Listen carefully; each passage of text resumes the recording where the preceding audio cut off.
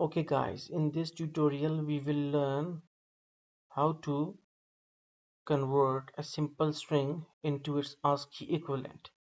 And we know that ASCII is actually is an abbreviation for American Standard Code for Information Exchange or Interchange.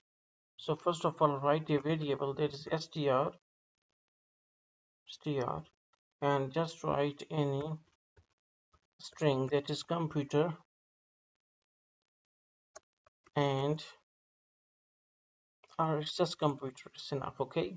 So press enter and now what will happen? That is the computer string is now stored inside the str so now we are going to convert this string computer into the ASCII so uh, like uint8 and str r so press enter and here as you can check that it is converted because it is uh, because it is the word string is considered as the string is considered as the character array.